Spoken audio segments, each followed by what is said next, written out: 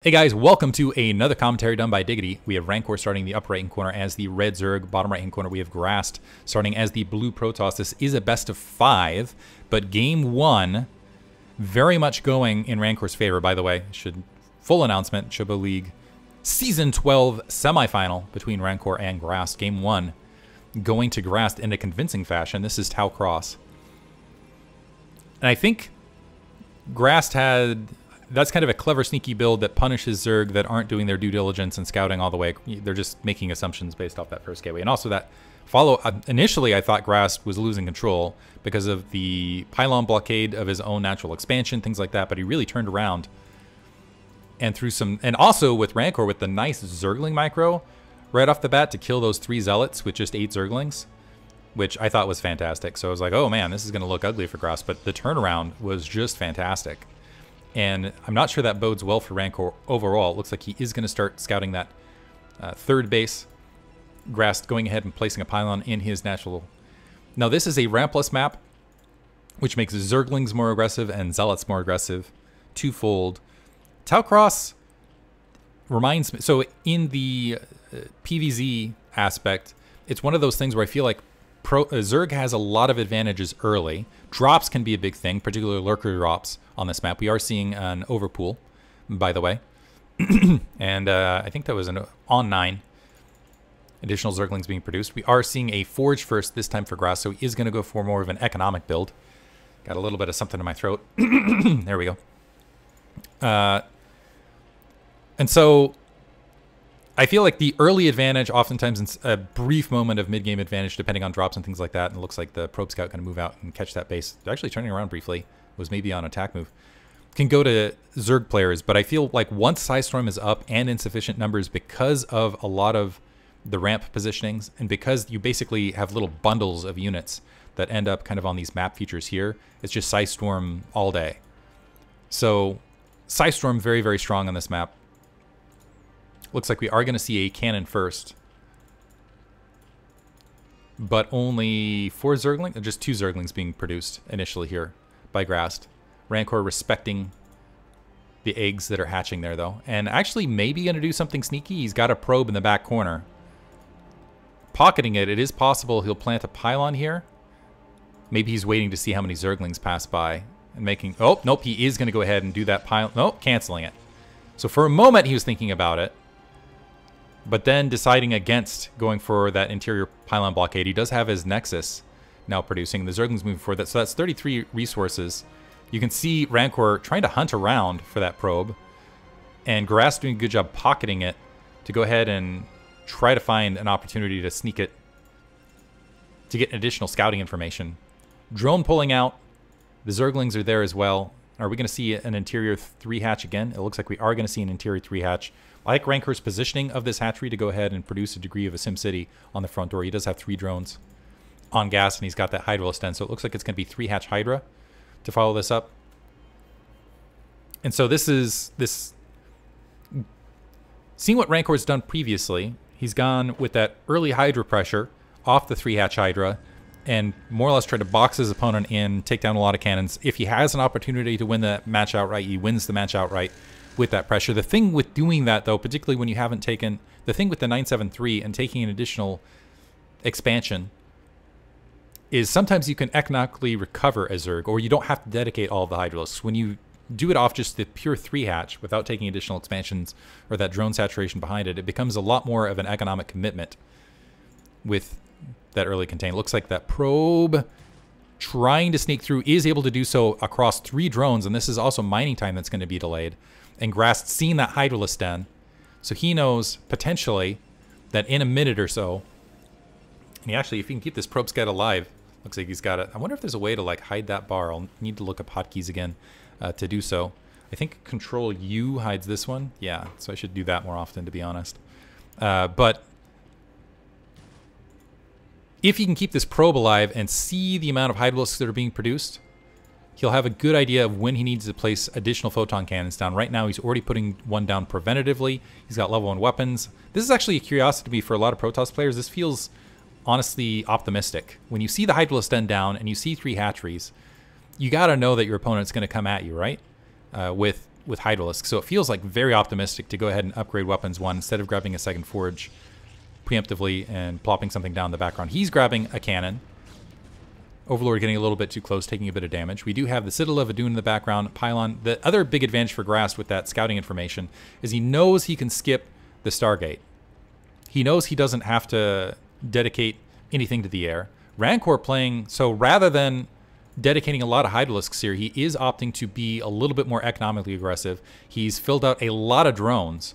And so this has been Grast because he dedicated these cannons expecting a Hydra bust, and the Hydra is really not being produced. That's going to allow Rancor to get a bit of an economic edge here in the mid game, and he's just pumping drones. That's seven more drones that he's filling out here in the interim. Although Grast does have that assimilator down, he is mining the double gas, and he is getting that Templar archives. And again, if he can get those early High Templar out, if he can get that early Psi Storm, I think it will that will be a huge advantage. He's got an additional Looks like a is the Zealot been roaming around? Zealot was like camping near that 12 o'clock location to go ahead and deny that base. He's got Zealot leg speed coming online momentarily, planting additional cannons, again expecting a Hydralisk bust that just isn't coming. This is only two Hydralisks here and two Zerglings. And this one Zealot actually, if there's not enough micro, yeah, going out and, and distracting it, that actually might, with this, might actually be enough to, so ignore what I said earlier, might be enough to go ahead and get that level 1 weapons up. This Hydralisk now needs to be careful now that his brethren has fallen to the cannon line. Uh, drone is pocketed here at that 3 o'clock location to potentially take that. Now we're seeing some Hydralisks from Rancor to go ahead, or going ahead and pressing towards that natural expansion, forcing some additional cannons from Grast. So that's going to slow his economy down a bit. But Grast grabbing additional gateways. He's very, very comfortable. Is this probe scout? That probe taking some damage, but able to get his way home. This is going to be close, actually. We'll see if there's a cancellation. So Forge still on the way, and is there a cancel before it is? No cancel on the weapons, so it looks like minerals lost uh, for Grast. So Gateway to go down, but keep in mind this is just to a handful of Hydralisks, and honestly, if there had been more Zealot production here in the meantime instead of cannons, these Hydralisks might not have even been able to do this, but there are sufficient numbers to go ahead and press this back. Rancor grabbing that 3 o'clock base with the little bit of map control he has with those Hydralisks on the front door. We do see Pneumatized Carapace being upgraded, knowing that there's potentially a Templar Archives, but keep in mind Rancor is also playing in the dark here. Now, this is what I wanted to see. early Psi Storm, and I want to see, yeah, a lot of those High Templar early. Because again, as soon as High Templar is out and insufficient numbers, it can just be a huge advantage for Protoss on Tau Cross. And I'd love to see that from Grast. Looks like we do have double evolution chamber once again. So Rancor wants to play the weapons upgrade game from here. I'm not sure that's going to be a big, a big, uh, what's the word? A big advantage on Tau Cross in particular, again, because of all that Psi Storm. Some Zealots doing some damage here at the 3 o'clock base. Two hatcheries plopping down right there. The Zealot's actually trying to run by to get a look at the tech. And this Zealot is actually going to be able to suicide in, not quite making it to go ahead and, and see what stage of tech that Rancor is out. And I think Grast feeling a little bit, maybe not discombobulated, but I'm not sure that he realized, I think he was looking for a big Hydra bust and it's not coming here at this stage. But he's got a whole bunch of High Templar out now. Looks like he has set up a robotics facility potentially to get a shuttle out, to maybe even do some shuttle drops at the 3 o'clock location, maybe do it. You can even kind of drop on the high ground or back this corner. Point being, there's a lot of places to do Psi Storm drops as well. Rancor has those roaming Hydralisks. I'm wondering if he's going to go ahead and grab an additional base behind this, and he's continuing to pump those weapons upgrades. Additional gateways plopping down. We are, we are seeing some Dark Templar. I don't know that those are going to be very effective again. And also, Rancor has dropped his Double Forge here in the background. I think upon scouting that Evolution Chamber on the front, he realized what Rancor was up to with that early weapon upgrades, or maybe he scouted and knew Rancor's playstyle, knew that he likes playing uh, more the, the weapons upgrade heavy thing in the mid game. And so perhaps opting to, to play that direction uh, comparatively. But he is going to be able to, he'll be a little bit delayed because Rancor's level 1 weapon, level 1 missile attack, level 1 carapace is coming online right about now. So it's a be, it'll be a little bit behind, but he will be able within a few minutes to more or less match that. And he's got all sorts of gateways down to, in a minute, be able to produce all sorts of units. Grast moving out a little bit early, in my opinion, does have some Psi Storm. Now here's the thing, if he can push this roving army back across that bridge and just keep an eye on this army and have Psi Storms waiting, Grast will be able to basically cap an additional two, sometimes three bases just from that. Also, these Dark Templar out in the field, I don't see any Overlord with this Hydralisk force. Speed is upgraded. And Grast is moving out. He's going to go ahead and stage an initial pylon there. A High Templar getting picked off. Another Psystorm on the ground. And two High Templar rapidly picked off by Rancor. That is absolutely huge. Did I miss a drop in the meantime? No, it looks like he's just got that observatory. It's possible I did. I don't think so, though. Re-engaging the Overlord not in position, delaying, and that's going to allow these Dark Templar to reign free and get a lot of damage. These Hydralisks eating a lot of Zealot attack in this midfield, and so now Rancor's army that was looking to be a threat is greatly reduced. Queen's Nest is up, Hive is on the way. We also have a Spire in play. So we could see a potential tech switch.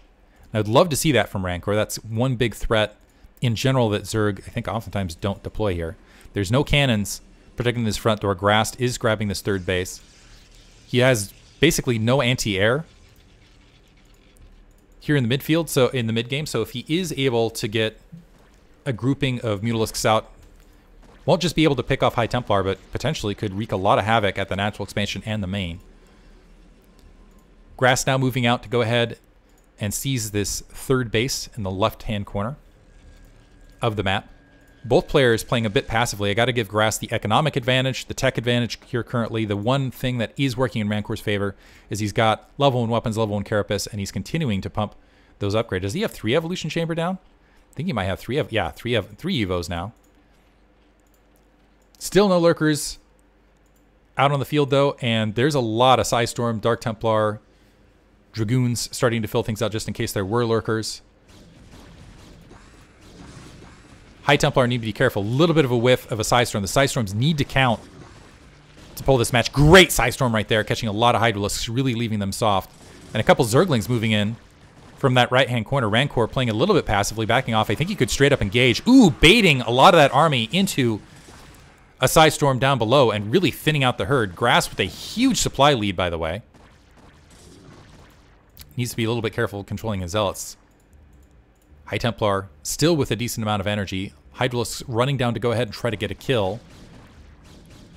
Not quite able to get an additional High Templar kill. But now Grast has three bases versus his opponent who also has three bases. He's continuing to pump weapons upgrade. Has that level 1 shield, level 1 armor online to equalize things a little bit. But level 2 missile attack and level 2 carapace are on the way. And critically, Hive Tech is up and Adrenal Glands is right around the corner. And Zerglings are just so scary late game. Granted, Grast is 40 supply ahead, but once Zerglings have that Adrenal upgrade, particularly when you can get Swarm and other things, doesn't matter. They just do so much damage so rapidly. So much damage so rapidly. Rancor looking to sweep around, maybe attack this space. There are three cannons there. I think Grast should be able to defend it, but Grast looking to crash down at this inside 3 o'clock base. There are Hydralisks and Zerglings there. Adrenal Upgrade has finished, and that is going to make these Dragoons just absolutely melt.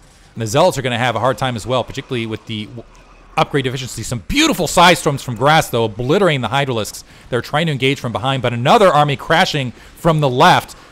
They're blanketed in a lot of Psystorm. So looks like both players basically exchanging armies. Archon's trying to morph, and the Hydralisks actually might be able to clean up what's left on the field. The Dragoon's pressing into what's left, but the Zergling's going to sweep down and make short work of what's left. And I believe this is going to give an advantage to Rancor overall because he's starting to move into that late game tech. He's also, in the background, building a handful of Mutalisks. One o'clock base is going up for Rancor. He does, and it looks like he has a couple skirts just in case a shuttle was going to be out here. But Rancor, a little bit light on drones. Actually getting a greater spire. Interesting. We'll see if that ends up being a factor. You'll have that option for tech. Zerglings getting on top of those Dragoons, you can see how quickly they melt. And you can see Rancor just relying on a lot of Zerglings in the mid game, and he can do so. They're so cheap, so efficient, so deadly in this stage of the match. Grast has a probe at that 9 o'clock location, wants to go ahead and try to grab that base. So Rancor, I think he has all the tools in his toolbox to, to finish things out.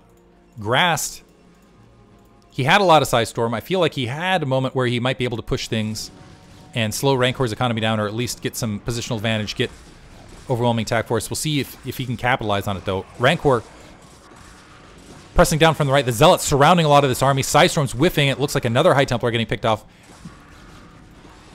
Rancor backing off. Some Mutalisks engaging that 9 o'clock base. I think these Mutalisks were mostly around to go ahead and pick off some exposed High Templar. But they're going to sneak back, and these are going to become Guardians in a minute to go ahead and do a back attack. Back attack! Across this bottom left-hand base. Rancor has established this mineral only. At the 12 o'clock base, his mineral look, line looking somewhat thin. So it's basically 4 base, effectively versus 4 base. Theoretically, but Grast has a huge supply lead. But again, I think that supply lead is a bit deceptive just because of the weapons upgrade and Zerglings with that adrenal upgrade, etc. Guardians morphing in that bottom left-hand corner. A Zealot moving up should be able to kill that. Well, it's on patrol moves. Zerglings flooding in. It looks like they're going to deny that Grast fourth base. And look how quickly they take everything down. Before able to... Ooh, some nice Psystorms to save that Nexus. Did they save the Nexus? I'm not even sure. And the Guardians, while all of that distraction's happening, going to go ahead and press in and kill a lot of probes and clear out that location. No Stargate, so that's going to have to be cleared out with Dragoons and Psystorm alone. But Grast deciding to get aggressive. He's like, okay, wasn't able to take my fourth base. Let me go ahead and try potentially to take an additional base myself. Oof, that getting absolutely obliterated. Some Zerglings and Hydralisks are there to greet it, but Rancor is going to need a, a more sizable army than this to stop Grast.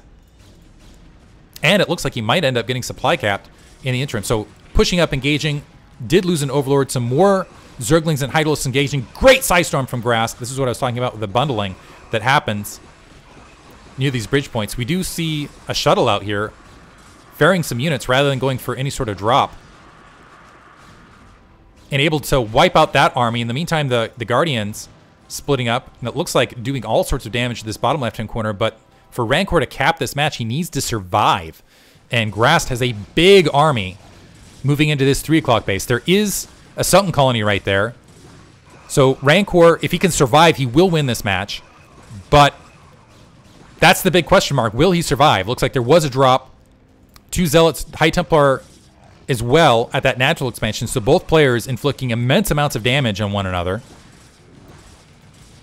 Is this going to get cleaned up? It looks like just some High Templar and that getting cleaned up in that bottom corner.